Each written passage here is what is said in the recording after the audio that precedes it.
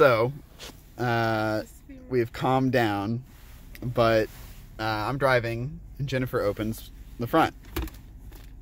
And she goes, Wow, Steven, you're messy. And I look over, and I'm like, Oh my God, a rat made a nest in my car. And she's like, Really? I think it's just dirty. I think you just put it in there. I'm like, that's a fucking rat nest, Jennifer. I don't chew my papers and shit and ball it up and throw it in the front. And she's like, I don't know, Steven, with your record, do you remember how messy it was last month?